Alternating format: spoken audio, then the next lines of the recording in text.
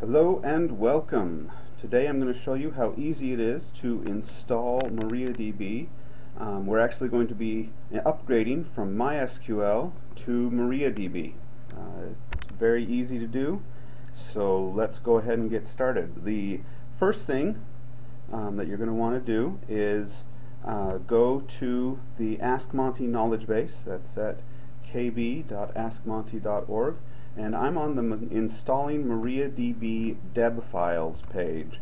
Um, on this page, uh, if you scroll down a little bit, you'll see that there is um, instructions on installing the key that we use to sign all the MariaDB packages. Um, so what I'm going to do is I'm going to highlight this line, I'm going to flip over to my terminal, and I'm going to go ahead and paste that in and you can see there that it has imported the key. Uh, so now we will be able to um, install the packages without any um, issues.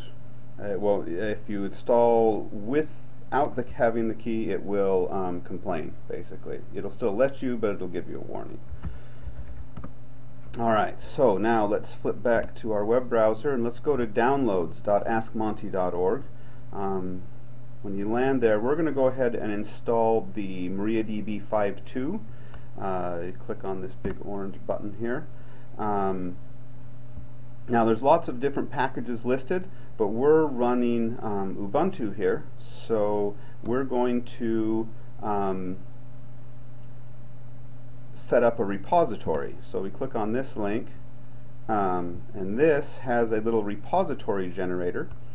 Uh, we're on Ubuntu, as I said. Uh, I'm I happen to be running uh, Lucid, so I'm going to click on that. And then I am doing MariaDB 5.2. Also, I am located in the United States, so I'm going to choose the OSU OSL mirror. Uh, there's a selection of, of, mirrors that are world worldwide. So if you scroll down, you'll see that it's created a um, sources.list entry. So highlight that, flip back over to my um, terminal, and I'm going to edit the etc apt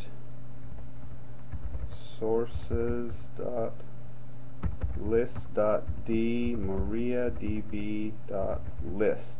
Uh, this file doesn't exist, uh, but doing this will create it and now I'm going to paste in uh, my the stuff I highlighted over in the web browser.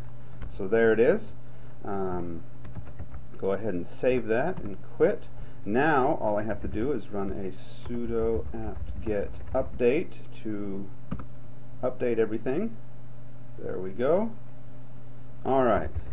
So now we've updated, so now all we have to do is we do a sudo apt get install MariaDB server. And it's going to ask me, it's going to let me know that there's some extra packages that it's going to install, including the MariaDB client package, the core, the server, um, and the server core, and the client libraries. So do I want to continue? Yes. So now it's going to go out and it's going to start installing and shouldn't take too long.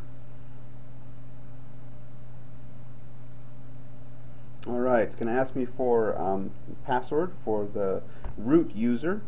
Um, I'm just going to put something in here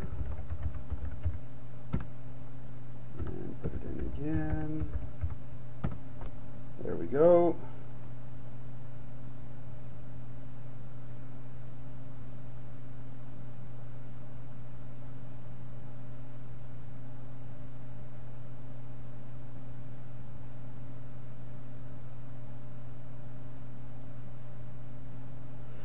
Alright, now it's going to ask if I want to um, replace the uh,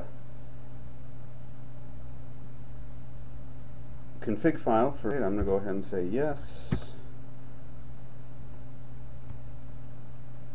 And that's it. We are done. Uh, now just to show you, um, on the MySQL command line client, there we go. It says we are connected to MariaDB.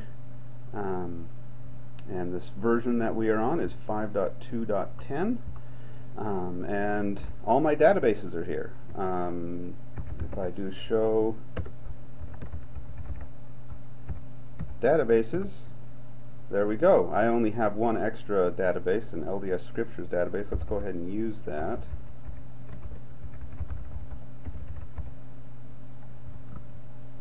alright so there we go um, database has been changed and now just to show you that all my data is there, let me paste in a select statement that finds the shortest verse. So there we go. Actually finds all the verses that are shorter than 20 characters. So, and there we go. So all of my data is still there. Um, very easy, very quick, and very simple. So Thanks for watching today, our Installing MariaDB screencast. Uh, thanks a lot and have a nice day.